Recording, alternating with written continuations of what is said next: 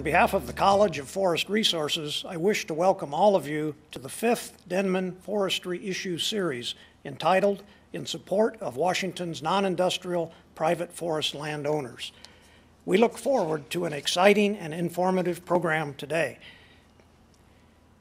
The purpose of the Denman Forestry Issues Series is to provide information and discussion on timely forestry and natural resource issues. As with all the activities associated with an academic setting, our ultimate goal is to inform and educate our students, faculty, and staff, as well as resource professionals, landowners, and the public. These programs are made possible through the generous support provided by the Denman Endowment. The College of Forest Resources engages in a broad mission focusing on the sustainability of natural and managed environments, including urban and rural landscapes.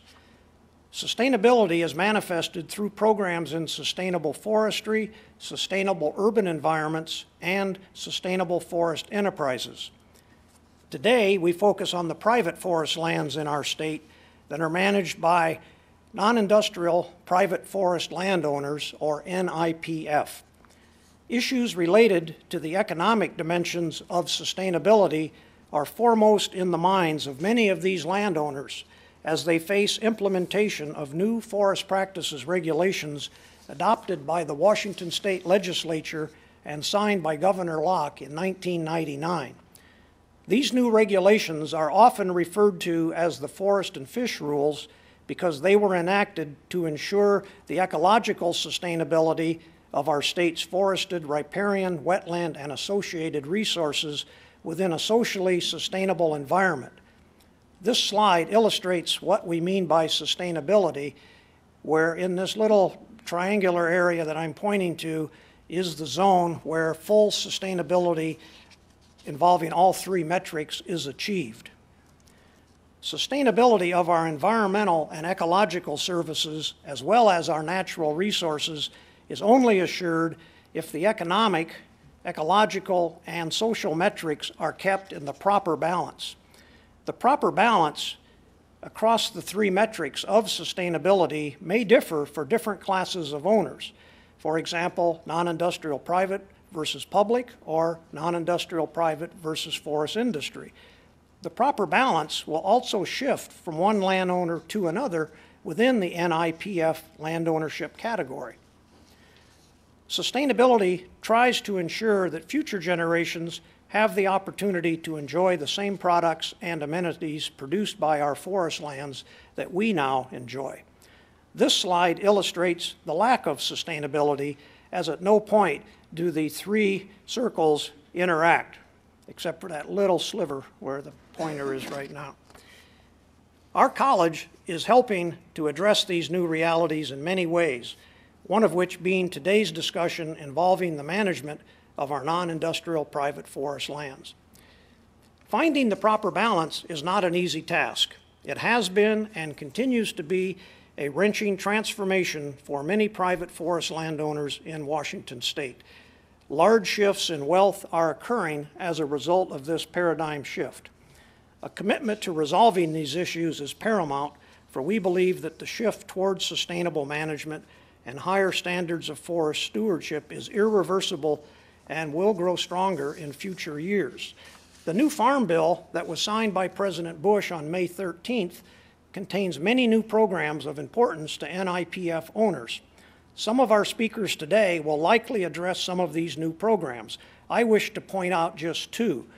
The Sustainable Forestry Outreach Initiative is a new initiative under the Renewable Resources Extension Act that is designed to educate landowners regarding the value and benefits of practicing sustainable forestry and the importance of receiving professional forestry advice in achieving those objectives.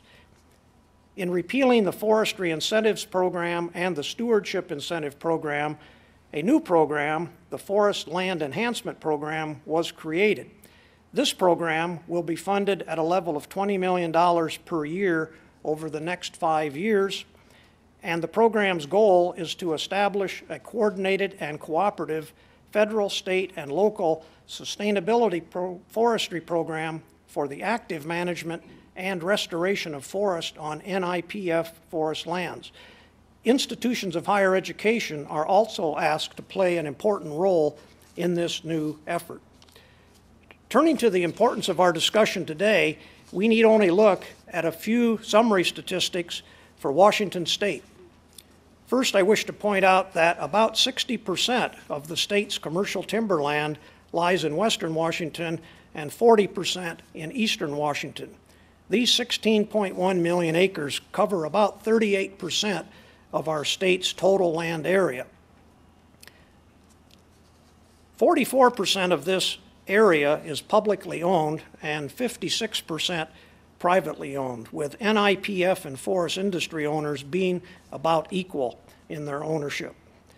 If we look at the status of the timber inventory, we see that 53% of the standing timber is publicly owned and 47% privately owned, with the NIPF and forest industry being just about equal in their inventory vo- volumes. And lastly, in 1999, public lands contributed only 18% of the statewide harvest, while private lands made up almost 82%. NIPF owners accounted for 39% of the total harvest from only 20% of the commercial timberland area. These few slides begin to help us identify the problems we are here to discuss today. Private timberlands in our state are producing an increasing share of the timber harvest on a shrinking land base while simultaneously being subjected to increasing regulatory pressures to provide a growing array of environmental services, amenity, and other public values. Who are the people that make up the NIPF ownership class and how many of them are there? According to Birch, there are over 90,000 forest landowners in our state. Now, during the program today, some of our speakers may use different estimates of the number of landowners as different measuring criteria are oftentimes used. So just keep that in mind. The demographics of an average NIPF owner are also interesting. The following figures, reported by Blatner and Baumgartner in 2000, reveal that the typical owner is about 57 years old, has been a landowner for 23 years, likely lives in a city of 5,000 or more people, and has a family income in excess of $50,000 per year. Lastly, the typical owner is very likely to be a male Caucasian. The typical owner has holdings that look something like this. The forest area is about 40 acres in size, that's the median value. The property is very likely to be owned by one person who is likely to allow public access and lives on the property. Non resident owners are likely to live 50 or, four, 50 or more miles from the forest property and about one fourth of the landowners have a fish bearing stream on their property. Our program today consists of speakers from government, higher education, and the NIPF sectors. They will discuss the types of technical and educational assistance available to NIPF owners, some outreach and technology transfer programs such as the Rural Technology Initiative and the Small Forest Landowner Office, problems and obstacles encountered by a practicing tree farmer in Washington state, and lastly, an update on the Private Forest Forum. Growing recognition that our non industrial private forest lands play a significant role in providing a variety of products, environmental services, and public values is the subject of today's discussion. I am sure that we will hear a variety of interesting proposals for changing and improving policies that affect these lands. I wish to thank all of today's speakers as well as those who helped organize this event. I applaud your contributions because I believe the future of forestry and natural resource management in Washington state lies in promoting the sustainable management of our state's natural resources.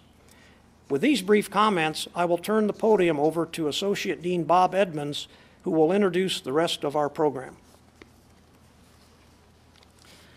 Our first uh, speaker this morning is Steve Gibbs. He is a statewide forest stewardship Program Manager with Washington Department of Natural Resources in Olympia.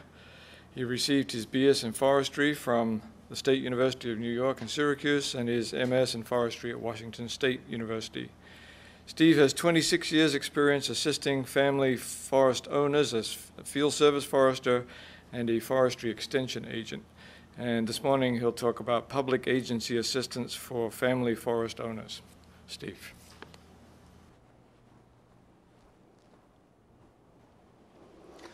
Well, Dean Bare assured you that this would be both exciting and educational, and I'm, I'm here to prove that that may not necessarily be so. Hopefully, you'll find it uh, educational, if not exciting. I'd like to talk this morning basically about public agency assistance available to small family forest owners or non-industrial private forest owners, as they've been called in your introduction. I need to preface my remarks with the fact that I'm from the government. We're here to help you. Really, we are. Honest. Trust me. I think that's the last one. No, I really mean it. Let's get into the meat of this. Why would the public sector be interested in assisting small family forest owners? Basically, we're looking to encourage the retention of small family forest lands on the landscape and, for the, and to encourage the uh, management of those lands for their environmental and economic benefits that they provide to society uh, and to the landowner themselves. I'd like to briefly talk about the history of uh, public agency forest landowner assistance in Washington. It date dates back over 50 years, uh, primarily a partnership between the USDA Forest Service and state forestry agencies, and this is true in every state, not just only Washington. In the 50s and 60s, our program was called the Farm Forestry Program. In those days, it dealt primarily with farmers and ranchers who held forest land as part of their lands. The emphasis was timber production after World War II. We wanted to make sure we had quality and quantity of timber, production, uh, timber available in the future. And in those days, the DNR had dedicated full-time what we called farm foresters to go out and work one-on-one with landowners. Then moving into the decades of the 70s and 80s, uh, the DNR restructured and we uh, ended up with uh, a large number of small, uh, excuse me, a, a larger number of part-time service foresters who had many responsibilities, only one of which was to work with landowners. Uh, the timber production remained the emphasis of this assistance program in those days, but it was broadened to non-farm and non-ranch lands as the, the ownership base changed to more non-farmers and non-ranchers. Then in the 1990s and uh, through to today, we have what's called the Forest Stewardship Program. This is an integrated multi-resource program that integrates all of the forest resources on the property and uh, it appeals to a variety of landowners from all backgrounds, not necessarily agricultural uh, or, or uh, timber production backgrounds. And we've now uh, come full cycle and we're back to full-time designated stewardship foresters in most parts of the state where it's 100% of their duty is to deal uh, with small family forest owners. Well, that's the history. What types of assistance are available? Through the Forest Stewardship Program, we're looking at technical assistance, and by that I mean on-site advice where a forester, a wildlife biologist, and or maybe a fish biologist, depending on the type of assistance you require, would actually go out to your land and provide you with on-site individual uh, advice. Educational programs. DNR cooperates closely with other organizations, and you'll hear more about that later in the program. I won't go into this uh, in detail because you'll be hearing from the Extension Service, UWRTI, and others about the educational component uh, of this program. The third component is financial assistance. This is the U.S. Department of Agriculture, excuse me, provides uh, cost share funding for forest landowners, which can reimburse them uh, for on-the-ground projects and developing forest stewardship plans. And I'll go into all of this stuff in more detail in a little bit. And then lastly, recognition programs, such as the Stewardship Forest and Backyard Forest Stewardship Program. The, uh, the Backyard Forest Stewardship uh, and Wildfire Safety Program is uh, an off-spin or spin-off of the, the main forest stewardship program. Our main forest stewardship program is aimed at people that would own, say, five, five acres and up. Uh, however, the backyard forest stewardship program is a uh, mail-out type of information kit and is also available on internet uh, with how to do information for people that uh, live in the forest on small acreages. And I'll tell you more about that here in just a little bit. Let's look at each of the types of assistance available. First, we talked about technical assistance. This is funded by the USDA Forest Service state and private forestry cooperative programs and in uh, cooperation with state agencies, in our case is the Department of Natural Resources. It's the state forestry agency in each state. Approximately 50% of the money is federal money, uh, 50% state. Other agencies uh, that are involved in this to some degree are the USDA Natural Resources Conservation Service, or if you've been around a while, you may know them as the old Soil Conservation Service. They also have uh, a handful of foresters that assist landowners. And uh, in some cases, uh, we have, I think, three or four conservation districts in this state who employ forest, foresters also. So DNR, NRCS, and conservation districts uh, all provide some, cooperate to provide some type of on-the-ground individual technical assistance to landowners. What is exactly this type of technical assistance? It basically varies from a one-time walk in the woods visit. If you just want somebody to come out and walk around and answer your questions, uh, we can provide that, a forester, a wildlife biologist, a fish biologist, depending on your needs. There's no charge. If you're interested, we can help you develop a forest stewardship plan and implement that plan. and I'll tell you briefly uh, in a few minutes what's, what's in one of those plans. And then lastly, we provide field service for the USDA cost share programs. If you apply for financial assistance, one of our foresters will go out and help develop the project and then check on it when it's done so that you can receive your payment. The Forest Stewardship Plan. These are the elements that are in a forest stewardship plan. The information about the landowner, the land description, the owner's objectives, which is one of the most important parts. Each of these plans is individually crafted for individual specific landowners. And then we look at all of the forest resources. Timber and wood products, soils, water quality, riparian, fish and wildlife habitat, uh, endangered species, cultural resources, aesthetics, recreation, agroforestry, special forest products, and so forth. And then we wrap it all up with management recommendations and a timetable over a 10-year period. That's technical assistance. Moving on to financial assistance, I'd like just briefly to talk about the US, USDA forestry cost share programs. These have been around a long time and have been uh, through many different iterations and names, and we're not right now in, in the uh, transition to a new era under the Farm Bill, as Dean Bare alluded to. So by this time next year, we'll probably be operating a whole new set of uh, forestry cost share programs. Historically, there's been the Forestry Incentives Program, or FIP, that's been around for about 30 years and is about to be sunsetted. Uh, that program emphasizes timber production. The Stewardship Incentive Program uh, has been around uh, for about 10 years, and that's a multi-resource program covering all resources, timber, fish, water, wildlife, etc. That also will be sunsetted and replaced by a new cost share program under the new Farm Bill. And then right now, uh, as part of the National Fire Plan, uh, we, we have a uh, cost share program for wildfire hazard reduction on properties in eastern Washington, uh, where people are doing defensible space around homes and buildings creating shaded fuel breaks by thinning and pruning and so forth to uh, better prepare for wildfire. And there are other cost share programs which are primarily aimed at farmers and ranchers, uh, but for which land, uh, forest landowners can also apply in some cases. And I'm not going to get into them because there's quite a few. Well, we've been through technical assistance, financial assistance in general. I'd like to talk about the types of cost share practices that are available through financial assistance.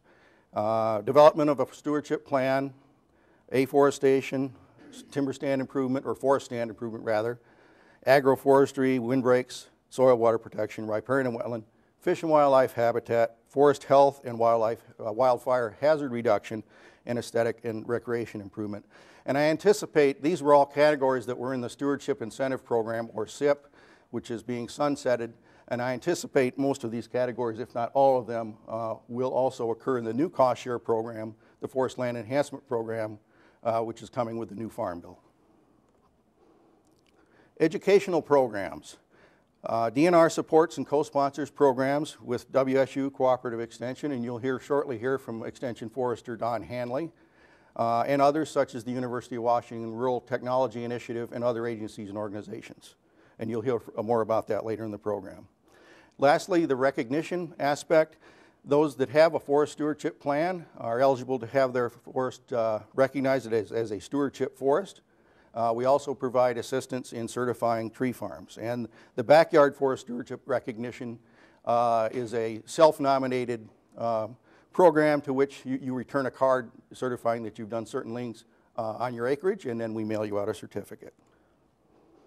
Other services DNR provides just briefly, we have a photo and map sales office. You can get aerial photos, topographic maps, and the like. Uh, our Webster Forest Nursery has seedlings for sale to landowners, and you see the telephone numbers on your screen. And the Small Forest Landowner Office, which is something new in DNR and is unique in the United States, and you'll be hearing from Steve Stinson, the manager of that office, here very shortly. I'd like to briefly go through the Backyard Forest Stewardship Program. This program differs from the Forest Stewardship Program, uh, as I mentioned, in that it, it's tailored to small acreages, say people that would own between 10 trees and 10 acres, and specifically anybody that would own a house out in the woods. And the, the primary emphasis in developing this program was for wildfire hazard reduction initially, but we expanded it to include all of the, the topics you see there on the left of your screen. We have an information kit. You can call the toll-free number, 888-STEW-KIT, uh, anytime, 24-7, and we'll mail that out to you for free. Or it's available by email at the address you see on your screen, uh, or directly on the internet. We have an internet version at the address you see on your screen. Where can you find a DNR forester if you want somebody to come out and provide some of this technical assistance? We have seven regions around the state, as you can see, noted on your screen here, and uh, you can contact them, any DNR office, by toll free at 800 527 3305, and then just follow the prompts on the, uh, on the voice system. Ask for the stewardship forester in the, in the county that's in where your land is located.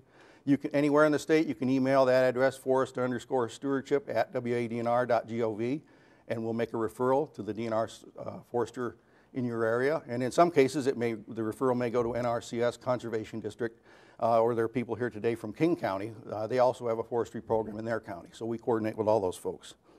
Uh, if you'd like to mail to us, you can see the address on your screen, P.O. Box 47037 Olympia, and then the websites down below. And I guess that brings us to the end.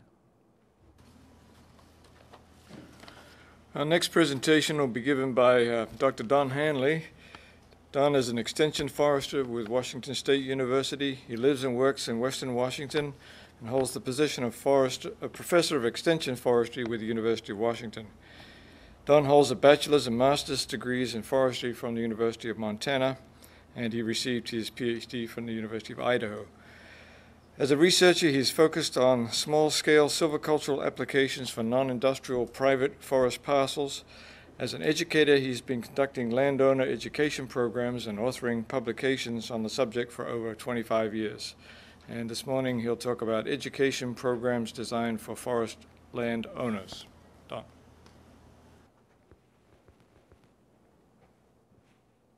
Thank you, uh, Bob, and welcome to the audience here today It gives me great pleasure to uh, address this issue. Uh, educational opportunities for uh, family forest uh, landowners or small forest landowners in the state. Uh, I've had the opportunity to be a, here at the College of Forest Resources, even though I'm a WSU Extension Forester for almost 20 years now. It's amazing how time flies.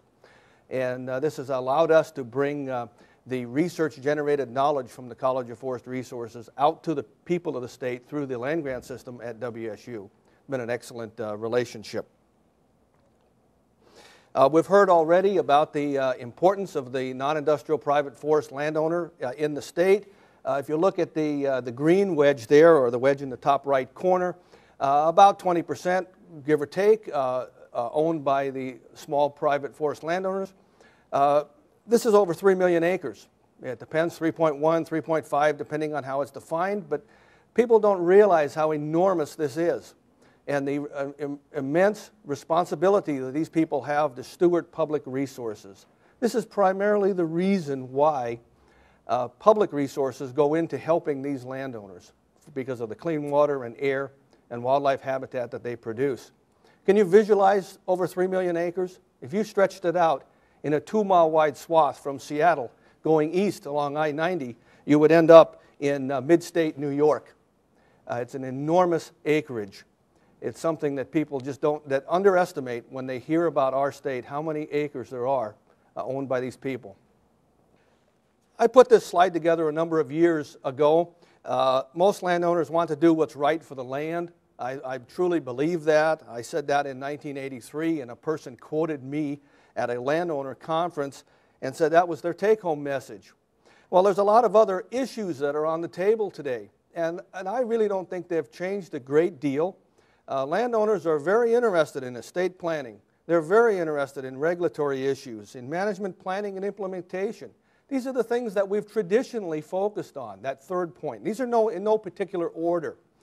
Uh, we know there's been insufficient educational and technical assistance opportunities, and hopefully with the new Farm Bill that will change a little bit as the society, as our society realizes that these lands are incredibly important to our society. Development pressures, loss of markets, fluctuating prices, recreational demands on these properties. There's a lot of issues facing these people today. A few years ago, my colleagues at WSU did a, a survey and they asked the question why do these landowners own land? Well, if you look at these categories, you'll quickly see that uh, income from timber is about halfway down the list at about 50% or 48%. What does this mean? This clearly means that the, the ownership objectives oftentimes relate to personal satisfaction or personal reasons why they own that land. Well, we learned from this. We learned that if we got landowners interested in their forest ecosystem, they would then use timber management or other techniques to achieve their personal objectives. Instead of simply telling the landowner, as we did back in the 50s and 60s, because these programs are relatively old, uh, here's what we think you should do. We now listen to the landowner. We get them interested in that ecosystem that they own. And we then help them achieve those objectives. And quite often, that does include timber management. Let's talk a little bit now about the Forest Stewardship Education Program that Steve Gibbs alluded to earlier in the program. Back in uh, 1989, after many, many years of doing almost an exclusively timber management program, and the WSU Cooperative Extension uh, program for landowners started prior to World War II. But back in 1989, we started thinking about this. We were attracting the same landowners to the, to the classes time and time again, and we weren't reaching out to the bigger group of them. And, and then so we decided that we needed to make this transformation, which we did. We got people interested in their forest ecosystem for whatever that objective was. Uh, back in 1989, we entered into an agreement with the Department of Natural Resources to, to co uh, develop the Forest Stewardship Educational Program. Don't get me wrong, uh, I'm, a, I'm a true uh, silviculturalist by training, and I really believe that non-industrial landowners will and need and use silviculture to achieve these objectives. Uh, I can give you many examples of uh, non-commodity objectives of why a person would own a land, but then they would use commercial uh, silvicultural techniques to achieve those, and there are many, many hundreds of them. I truly believe that silvicultural ignorance leads to rules, regulations, and land conversion, and we've seen that uh, time and time again uh, when landowners uh, get out of the business, if you will, and their land resorts to some other use. We know that if we give these people the best technical information we can and we get them to learn it, they can make decisions today or they can make decisions and know what will happen for some type of future desired uh, uh, stand type that they may have, desired condition, and give them opportunities. They have to think into the future. We also talk a little bit about the landscape approach, which we never did prior to the 1980s.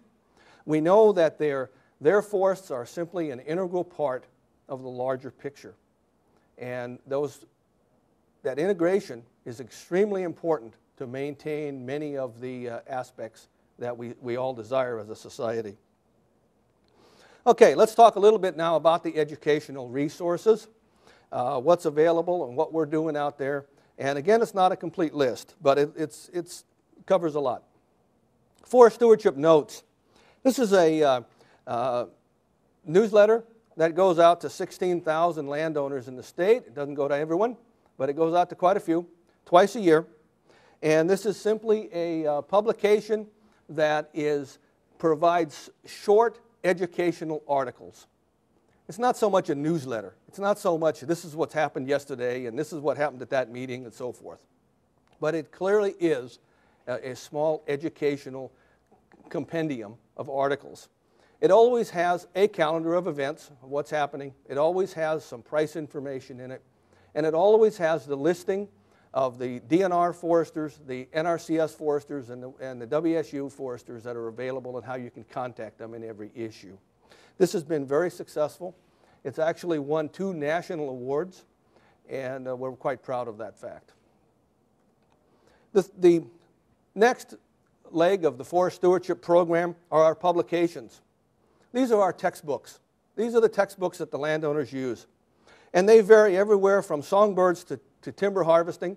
And I put these up because these are three good examples of where faculty in the College of Forest Resources have worked with, uh, with us at WSU to develop these educational programs. Uh, Professor Manuwal was involved in the bird one, Professor Oliver in the pruning, and uh, Professor Grulich in the timber harvesting, and there are many other examples of this collaboration. Uh, these publications, uh, there, there, are many in scope, and they are uh, clearly are our textbooks. The calendar. Clearly, a landowner would need to know when an educational event is going to occur before they could attend it. So we put this uh, uh, calendar out. It's in the Forest Stewardship uh, newsletter every year. And this, this addresses classes, tours, and field days, and other typical educational opportunities. If you're a landowner and you really haven't attended one of these in the past, I would really encourage you to do so. The interaction from landowner to landowner is probably better than what you're going to he hear from the instructors in many cases. Uh, the real world experience from those people. One of the uh, really examples, real good examples of a uh, educational program is one that we've done in collaboration with the Department of Natural Resources.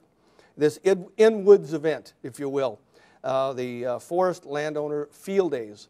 These are uh, enormous events. We've had hundreds of landowners attend, and they can choose topics of what they uh, would like to hear about and interact with instructors. And there are many people here today that have participated in these events the next item I'd like to talk about is probably our most sophisticated uh, curriculum. It's a nine-week course called uh, the Forest Stewardship Co Coached Planning Short Course. We realized a number of years ago that when we, we came to college as, as foresters, we didn't learn everything the first day. So how could we expect uh, small landowners to learn everything they needed in a two-hour program and go home? So we devised this program that allowed uh, the landowners to come to a, it's actually an eight week program with nine sessions. And the objective of this is to allow them to think about their forest land and develop a coached, with coaching, a forest management plan or a stewardship plan. We feel that many landowners, because they have to deal with family members and they have to, there's an intergenerational aspect associated with this, if there isn't a good plan where the landowner is going, they're not going to get there. Uh, quite often, the, uh, uh, the, the patriarch or the family may have had the plan in the back of, back of their head, and they just expected the rest of the family to know what was going on. By doing this, developing this plan that is shared amongst family members. Well, it's coached. That means the landowner writes their own plan. We've found in the past that if a plan was given to a, to a landowner, oftentimes it was not implemented if they didn't agree with what was in it. So by allowing the landowner to write their own plan with our coaching, we know it's going to get implemented. We've done dozens of these around the state, and uh, it's been a very, very excellent collaborative effort uh, with the Department of Natural Resources. And uh, we uh, appreciate the fact that the landowners have said they continue to want these. And uh, they've been very, very good. another really good source of information that pretty much summarizes a lot of what I've said is at the, uh, the Natural Resource Sciences Cooperative Extension WSU website. That's quite a mouthful, but the URL is quite easy. Uh, EXT WSU And this is what the first page looks like. It will bounce up, and then you can go to the newsletter. It's on a PDF format. You can go to a bunch of different links. And basically, everything that I've talked about will be listed here, plus a whole bunch of other activities, uh, some forest health issues and so forth.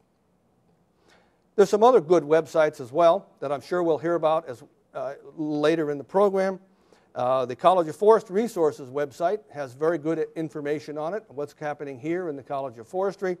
And particular for small landowners, the, uh, the Rural Technology uh, website is quite extensive and quite good in terms of providing uh, the most cutting edge technical information to these folks, and we'll hear a little more about that uh, in a few minutes. In, in, summary, I'd like to say that the Forest Stewardship uh, Education Program is sponsored by these organizations. Clearly, WSU is involved. The uh, Rural Technology Initiative, at the College of Forest Resources is involved. The Department of Natural Resources, the DNR folks, are involved. And it's underpinned by the uh, uh, Forest Service, uh, state and private forestry. Clearly, these are agencies, organizations working in partnership. I've got some email contacts here, and again, these I'm sure will be up on the screen again uh, later in the program. On the left side is the, uh, are the public entities, the DNR, uh, WSU, the UW, and the USDA NRCS. But let's don't forget the, the partnership also with our private partners, the Farm Forestry Association, the Contract Loggers, the Association of Consulting Foresters, uh, the, the Forest uh, Certified Tree Farm Program, and the Washington Forest Protection Association, other private uh, entities that provide uniqueness to the program. Let me quickly say that if it wasn't for the uh, consultant foresters, for example, uh, many of our educational and technical assistance would go, uh, would go wasted because quite often when landowners implement some of these programs, they do this in context of a commercial timber harvest or some type of stand manipulation. Uh, it's clearly the, the, domain of the private consultant that helps them get through that, uh, that uniqueness of doing something that they don't do very often in their life, lifetime, and they're, and they're concerned about it. I've often told landowners that they have uh, three options if they do some type of silvicultural activity, good, bad, or ugly. And uh, the bad and ugly is not good. And uh, that's what we want them to do is get that good goodness out of it. Do it properly and do it correctly. A lot of the other uh, uh, private entities listed here are also quite important. Uh, the contract loggers have an accredited logger program that allows uh, landowners to select loggers that have made at least a minimal commitment to education and stewardship, and we think that's very good as well. If all that went too fast for you, uh, I'll put the big screen up here. That's me, uh, who I am, my address, uh, my email, and my telephone number. If uh, you want to contact me, this is the way to do it, and I'll be happy to answer any questions or get you to the correct people. Our next presentation will be given by uh, Bruce Lippke. Bruce is the director of the Rural Technology Initiative for uh, Washington State with an office at the University of Washington uh, College of Forest Resources in Seattle. Bruce holds degrees in electrical engineering, operations research, industrial engineering, and the executive MBA from the University of Washington. His research is focused on forest economics, global trade, and environmental policy linkages resources assessment, environmental economic performance of renewable industrial materials, and rural technology transfer. And he'll give us a presentation on Rural Technology Initiative, technology transfer, and its impacts. Bruce. The Rural Technology Initiative is a very new project. It's a pilot project. Uh, it's experimental in nature. Uh, it was chartered to get better technology used in the field. Uh, our mission statement is sort of a mouthful, but basically it's to get better technology in rural areas for management of forests, for increased product and environmental values in support of local communities. We're trying to work to empower the existing infrastructure, some of the infrastructure that you've already heard about, DNR, and the cooperative extension programs. Why was RTI established? Uh, well, there are some recognized set of problems out there. We have a number of legislators who have been quite concerned about the growing income disparity between urban and rural communities. They're also aware that many of these are response to policy changes that have occurred in recent years. A number of them are quite aware that there's a tremendous increase in the complexity in forest management from changing regulations uh, and they're aware that these policies have been contributing considerably to the income disparity issues. Uh, some are even aware that there are new research findings that are well ahead of the implementation. Uh, while research doesn't have all the answers, there are new developments all of the time, and uh, the rural stakeholders are the real key to this problem setting in the sense that they were asking for if you've got new technology, you need to get it in the field quicker. Uh, so they asked for a pilot project to see if we couldn't get technology in the field quicker to help them. So what is RTI? Well, we're established by federal grant in January of 2000. We're funded by Congress through the USDA Forest Service cooperative forestry programs. Uh, from the very beginning, we've been a cooperative program between the UW College of Forest Resources and the WSU Department of Natural Resources and their cooperative extension. Uh, most important to this, of course, is that we established a rural advisory board right from the beginning, composed of a large uh, group of stakeholders in rural communities, non-industrial private forest landowners, east and west, uh, several tribes, woodworkers, a number of industry associations, including Hardwoods Commission, uh, rural uh, or the resource conservation districts, and even the economic development districts. And they set the priorities for what we've been working on uh, so that we keep, keep uh, informed on what the rural needs are. Now, what basically do we do? Well, we try to apply existing research. We're hoping not to have to reinvent research, uh, but that means we're basically tool developers. Uh, we have forest planning tools, GIS support tools, uh, road building tools, and, more. Uh, fundamentally, we're in the business of technology transfer. Uh, consulting is a main activity to help get technology in the field quicker. Uh, and one form, of course, is technology training, uh, short courses, if you will, a number of them across the state. Uh, when all else fails, we have to analyze problems and try to develop solutions. And if there do not seem to be a solutions on the table, it does take us back to research and trying to uh, get better solutions. If you look at the tools that we have, uh, our most sophisticated tool is probably the landscape management system. Uh, it was developed over a period of years, uh, heavy development over the last five years, and some of the embryonic parts of it date back almost 10 years now. It's a complete forest growth and management simulation and analysis system. Uh, it integrates a suite of forestry tools in a very user-friendly system. Uh, it essentially includes growth models, stand and landscape visualization, stand treatment programs, uh, from which you can derive all sorts of other things like economics, uh, habitat suitability, uh, carbon analysis, and uh, a whole suite of outputs. Uh, if you think about it in a visual sense, we start with inventory data, uh, we collect an enormous amount of data, and then when we simulate forward in time, we keep track of just about everything you can keep track of at the stand level as you simulate out into the future. Program includes visualizations, uh, such as the one Don Hanley showed earlier, where you can keep track of the stand at any time, uh, and both at several different perspectives, but also at the landscape level. It also includes uh, a ton of graphics, if you will, in the output. Uh, this particular uh, chart shows the st structure classes over time that we associate forests, uh, showing how they change as a function of treatments. Uh, and by keeping track of the, the, the distribution of these forests over time, it allows us to better link to the suitability of habitat and other functional measures of the forest. Uh, another program we have is called PEGGER. It's a road construction system. It basically allows you in an ArcView or GIS framework to see where you are in the terrain and say, I'd like to go in this direction, and it'll help you figure out the best pathway to get moving in that direction as a function of the grade that you want to allow. So it allows for a quick analysis of alternative road designs uh, we're working on an extension to this, uh, an additional tool, a culvert layout, so that we can better uh, uh, map and understand the, the water flow associated with the culverts that go with uh, road systems.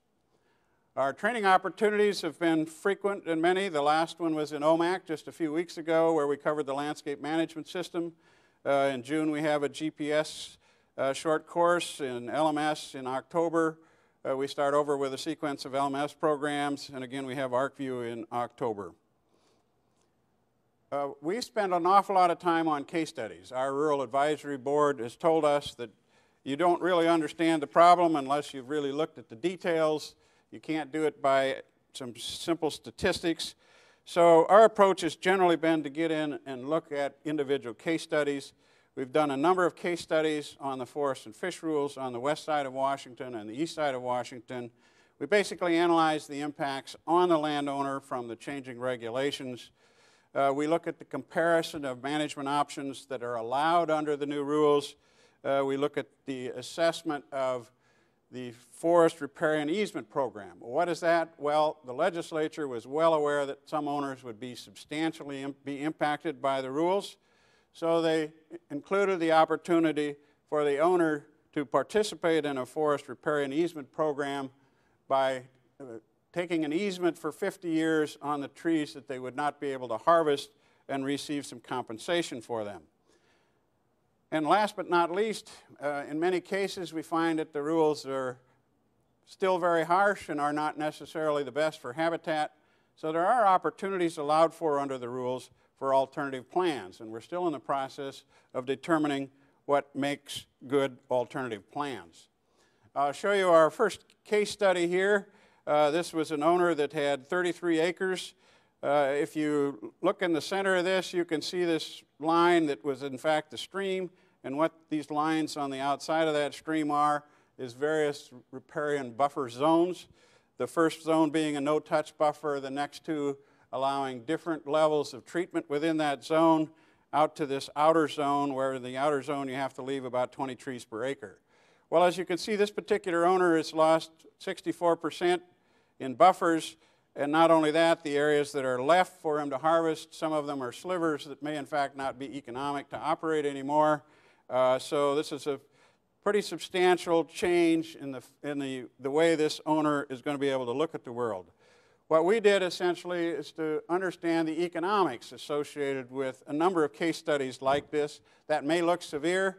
We know we have many owners that have no impact. We have owners that are essentially 100% in a riparian zone.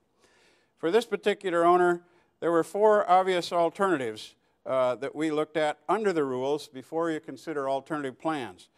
The one that most small owners adopt is the one that says uh, no riparian harvest. That is, the easiest thing for an owner to do is to just say, here's the edge of the riparian zone, I'm not going to do anything in there, because if I do, I'm going to have to get a consultant, I'm going to have to do a lot of layout, uh, I'm going to have to manage a logger to do some specific things.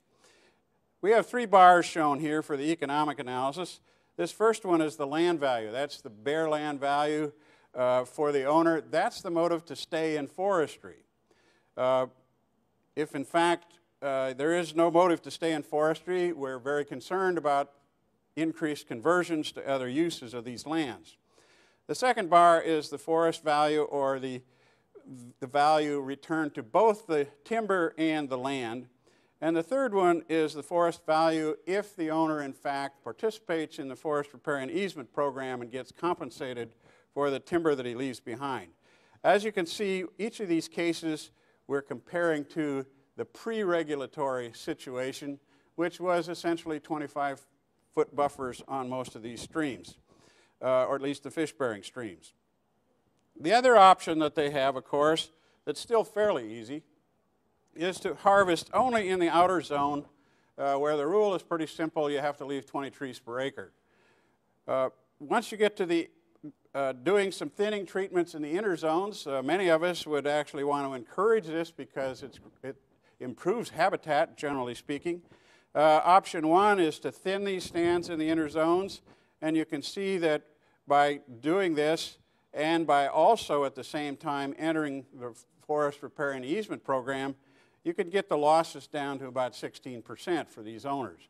However, the losses on the bare land side still look enormous uh, a very serious motivation to say whether you would really want to stay in forestry over the long term.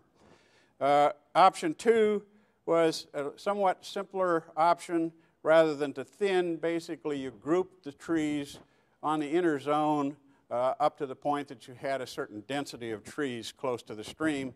And in this particular case, this owner could get down to about a 12% loss uh, under these programs. Now, we took these first 10 case studies we did on the west side, and we estimated by you know, scaling up the number of riparian acres that we've covered, and this is a crude estimate, but it was about a $1.4 billion cost to the non-industrial private foresters without the forest riparian easement program.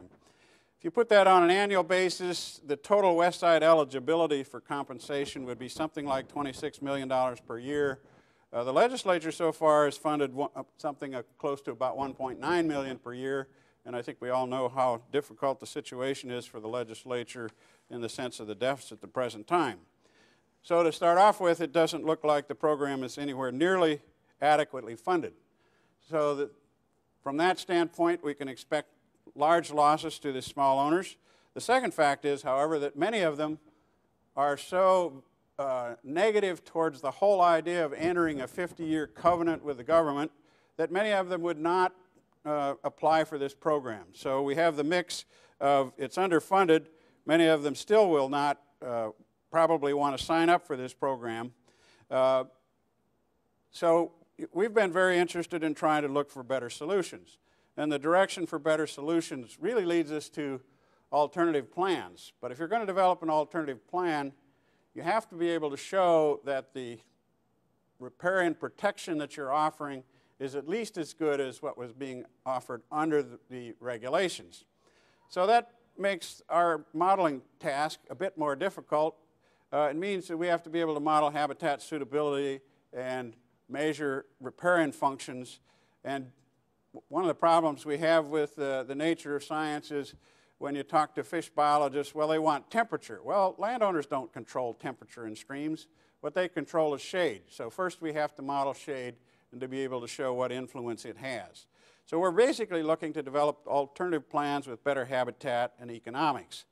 Uh, if you look at our, some habitat indicators, uh, for any given species, we can develop a habitat suitability indicator that tracks with our landscape management system the change in forest structure and what it does to habitat. In this particular case, you can see that even if you do nothing, just by aging the stands, some habitat will be going up and others will be going down. Um, in this case, the Cooper's hawk goes up quite a bit, comes down quite a bit, uh, and as do the others change.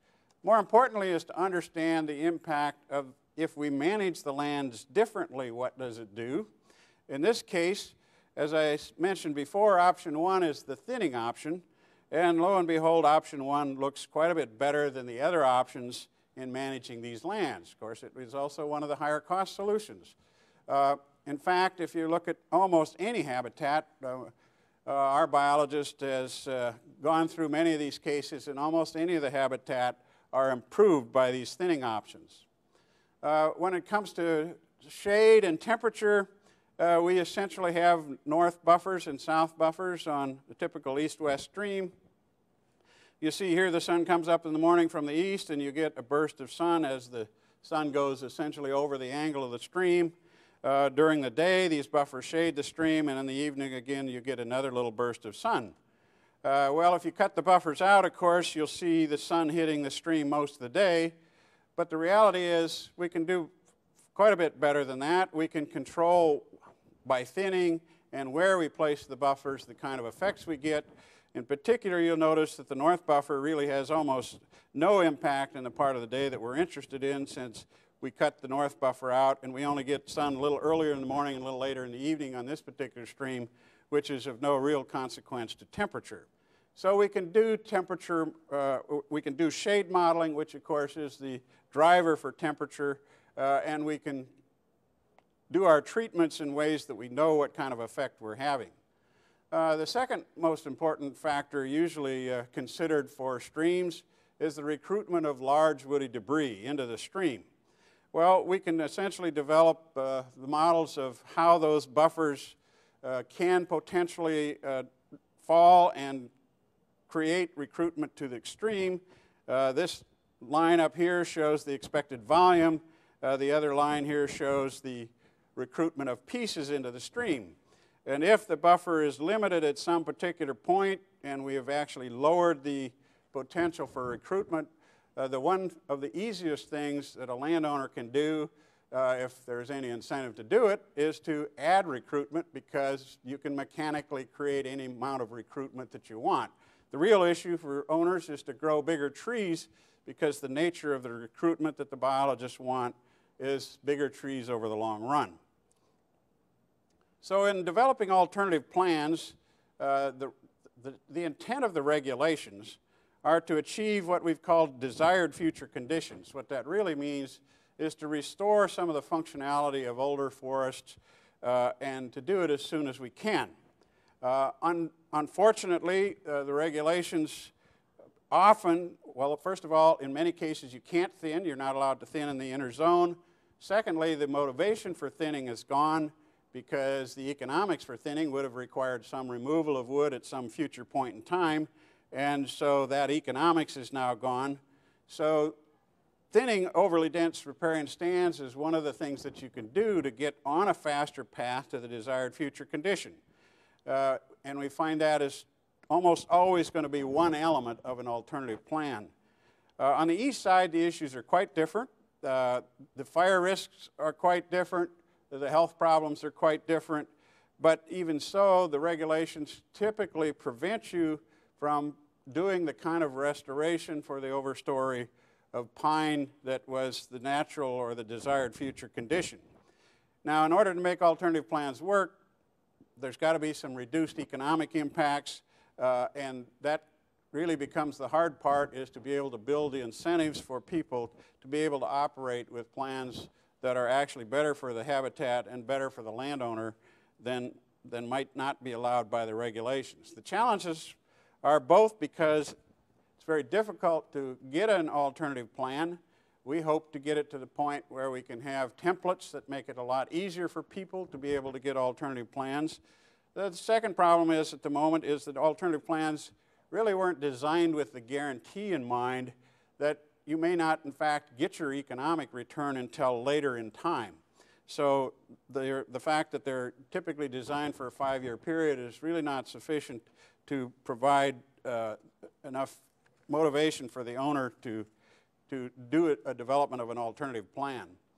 Now, so far I've only talked about what we've been trying to do in the buffer zone area. Stream crossing and road upgrades is another major aspect of the forest and fish rules. Uh, another crude estimate uh, for the cost for these for non-industrial private foresters, something like $375 million.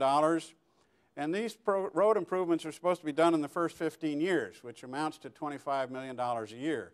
So this be has become a very difficult part of the uh, process, and we hope with our case studies that we'll be able to figure out how to build them into the alternative planning process to make them a little bit more easy to get uh, improvements accomplished.